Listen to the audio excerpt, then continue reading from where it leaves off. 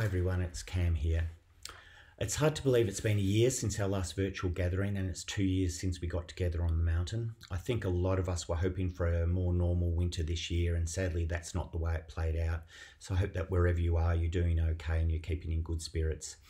I'd like to start by acknowledging country. Of course, wherever we are today, we're on Aboriginal land. I'm speaking to you from Wurrung country in central Victoria. Normally, we'd be at the General up on Gunai Kurnai country, and I'd like to honour and acknowledge their elders, past, present, and emerging. Thanks for tuning in today. We have a really great program that's being put together by Tim Scott. I'd like to thank him for stepping in and organising today. I have a few thank yous before we get into the program. Um, obviously, the supporters, the on mountain businesses that back the festival, particularly, I'd like to say a big thank you to the staff at Alpine Resort Management, Mount Hotham Lift Company, and Alpine Shire, who provided us with a grant through the Bushfire Recovery Program. Then there were all the on mountain businesses, and particularly the General, which is our HQ up on the mountain. We just thank them for their absolute steadfast support all through these years and all through these really hard times.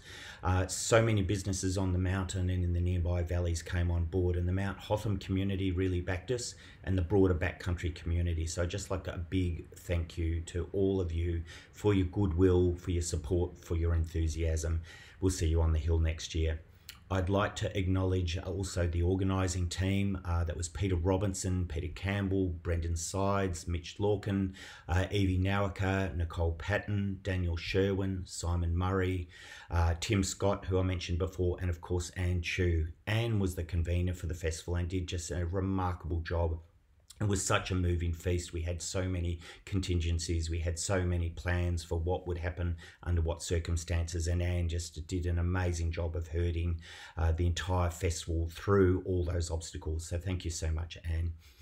Uh, before we do get into the program, I just to remind you uh, that we are moving towards preparing for next year. We've set dates for the festival, and they are 2, 3, and 4 September. So it will be the same format back to as it was um, three days, tours, workshops, speakers program, outdoor bar, film nights, all the rest of it. Put it in your diary. Really looking forward to seeing you there. Fingers crossed, third time lucky. Please do enjoy uh, the program today, and uh, hopefully, I'll see you out on the hill soon.